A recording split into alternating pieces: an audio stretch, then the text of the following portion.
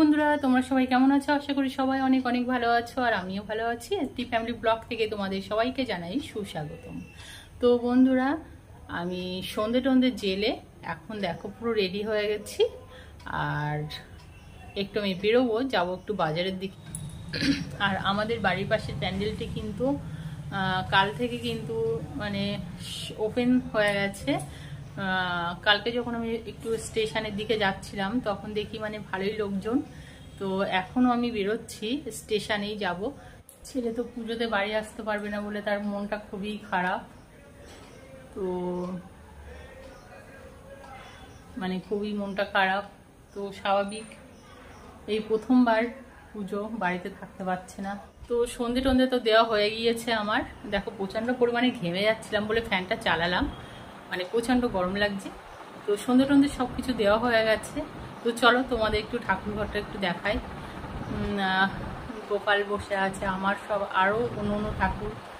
মানে আমি এই সন্ধ্যেবেলাতে সন্ধে দিলাম, আর একটু প্রসাদ টসাদও দিয়েছিলাম, সেগুলো অবশ্য নামানো হয়ে গেছে। তো চলো, বক বক করব না। তারপরে ঠাকুর ঘরের দিকে যাওয়া যাক। দেখো, চলে এসছি ঠাকুর ঘরে আর এই দেখো। এই যে। আর ওই যে হচ্ছে গোপাল। আচ্ছা তোমাদের একটু ব্যাক ক্যামেরা করে দেখাই। একটু ব্যাক ক্যামেরা করে দেখাই, ঠিক আছে?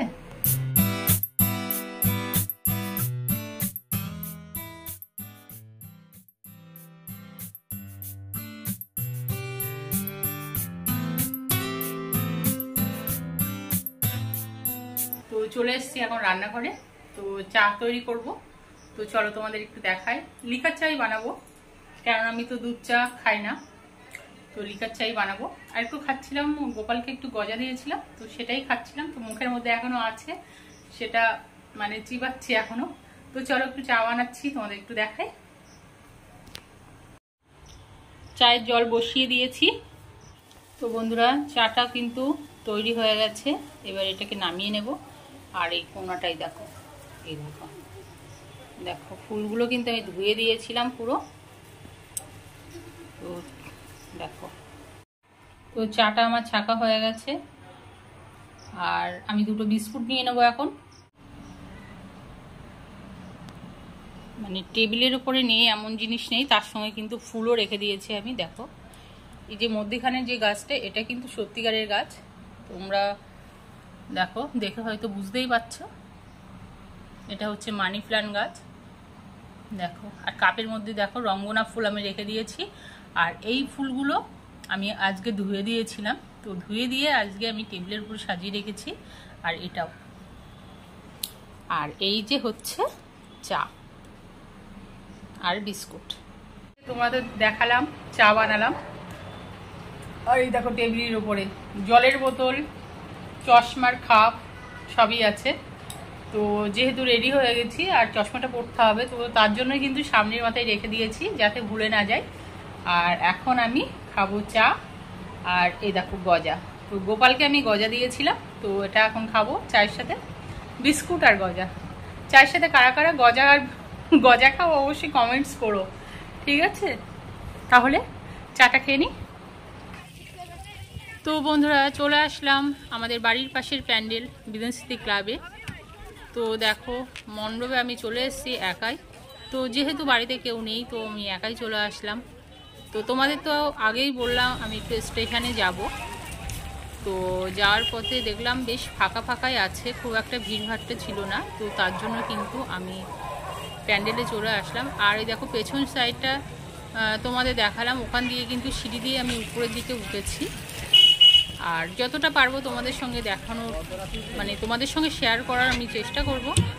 তো তোমরা দেখতে থাকো। হয়তো আমার আগেও হয়তো অনেকে তোমরা এসছো, এসে হয়তো দেখে গেছো প্যান্ডেলটা।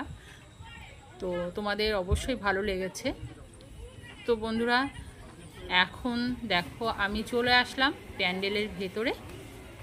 আর সামনেই তো তোমরা মায়ের মূর্তি দেখতে পাচ্ছ।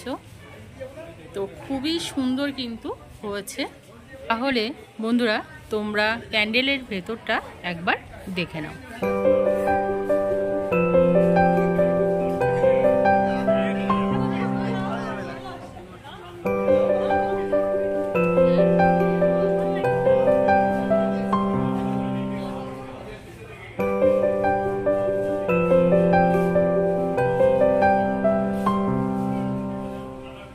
তো